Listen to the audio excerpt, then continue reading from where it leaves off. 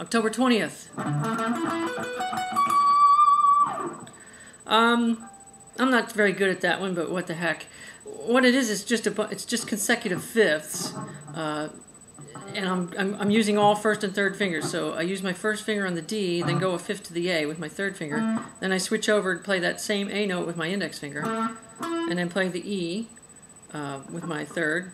Switch over to the E with my first, etc. B with my third, then B with my first, F sharp. Remember, you got to move up a string every time, a fret every time you come to the second string. So the distance is one more fret when you go from third string to second string. So the F sharp at the uh, what 19th fret, and then uh, switch over to my index finger on the F sharp to the C sharp on the first string. What you get is you get 159 13 3 7. That's the note. So it's an arpeggio. It's a it's a major 13 without the 11 or sharp 11.